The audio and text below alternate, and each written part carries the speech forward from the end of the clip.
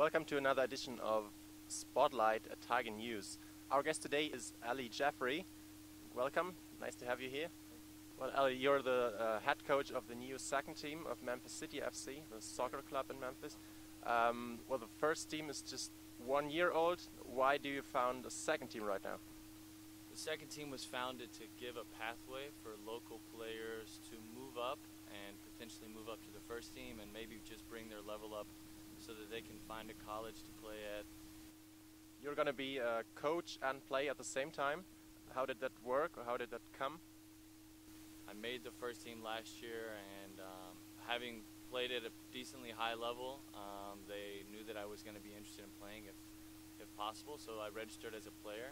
Um, as of now, I haven't played in any of the games. I do participate in the training at times. Besides that, you're still a teacher, right? Yeah, that's correct. My day job, I teach mathematics at Horn Lake High School in Mississippi, and that's actually where we have a lot of the training too. So it's convenient that I have access to a facility there. What are the goals of the first and the second team in this year? So second team, uh, we set out with just the goal of development. Um, as an individual for myself, my goal as a coach is to uh, get as many players from the second team that I coach up to the first team. Uh, first team, we obviously want to make it back to the conference final. Uh, we had a very, very close game with Chattanooga last year. Um, if we can find ourselves back there, maybe we can find a different result.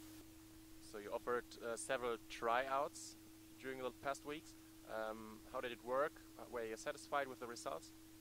All of the trials were really great. I think a lot of people in Memphis and in the uh, in the region have heard about how Memphis did last year and have heard about the NPSL and have seen the success that we had in the last year.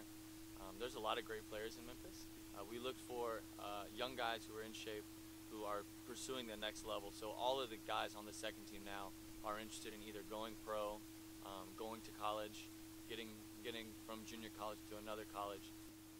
Do you think Memphis is becoming a soccer city right now? I had a professor in college say to me recently, a very smart man, um, say to me that uh, American football is on the way out and that soccer is going to take over in the next 10 years. And everything else this man has ever said to me has been true. And so uh, if I take him for his word, I think that'll be true.